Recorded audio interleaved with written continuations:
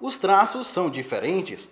Para se chegar aos desenhos feitos atualmente, Carlos Augusto passou por muitas fases. O começo, nem ele se lembra direito. Eu comecei a desenhar, acho que desde criança, eu não parei desde então. Houve mais modificações no estilo do que eu desenhava, no traço, mas eu nunca perdi essa, esse hobby de desenhar. Os traços dos desenhos do rapaz até renderam uma pequena exposição no Festival da Juventude deste ano em Conquista. Com a sua obra, ele pretende discutir uma subversão do corpo, onde as formas que conhecemos são colocadas à prova. Tenho o costume de ler, é, mais especificamente a relação à análise do discurso, análise do discurso voltada para o corpo, é, Jorge Betelli, entre outros autores a respeito do corpo, não saberia dizer especificamente.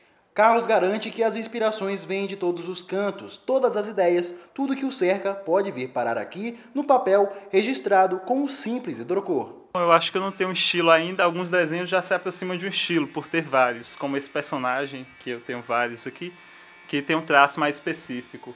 Mas eu vario muito, eu modifico muito, ainda estou tentando encontrar um estilo, digamos assim. A liberdade em criar também a marca registrada de Gil Brito, natural da cidade de Caculé. Foi lá em sua cidade, desde bem cedo, que os colegas de escola começaram a perceber que ele tinha talento para a coisa. A escola é o lugar onde a gente se socializa, né? em várias, várias formas.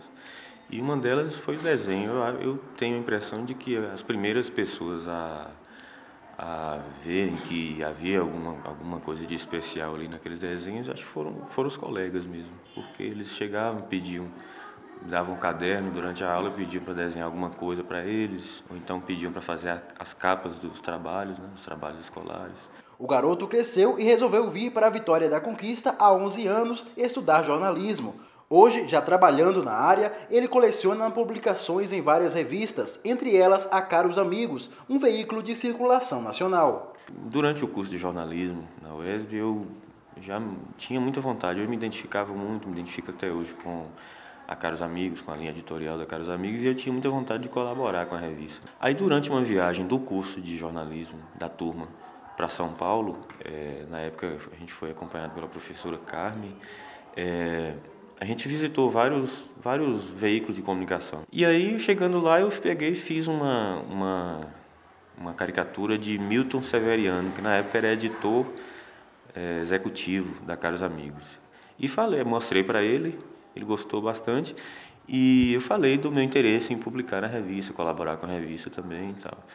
E aí ele ficou de ver como é que ia fazer e tal. Aí a gente voltou para a Conquista. Acho que uns dois meses depois eu recebi por e-mail o primeiro pedido de, de colaboração para caros amigos. E aquela charge, aquela caricatura dele que eu fiz, hoje eu sei que a gente mantém contato pelo, pelas redes sociais. Ele disse que emoldurou e colocou na parede da casa dele. Entre escrever e fazer as suas charges, ele fica na dúvida, não sabe qual dá mais prazer e o completa. Eu me sinto bem quando eu termino de fazer um, uma charge que eu vi que ficou legal, pô, gostei. Mas também eu sinto a mesma coisa quando eu escrevo um texto que alguém chega e elogia, que fala que ficou bom. Eu não sei, a charge também é um texto, embora seja uma forma diferente né, de, de manifestação. É, eu diria que o, o desenho tem um potencial maior, mas não sei, não sei falar, não sei dizer qual de qual das duas atividades eu gosto mais.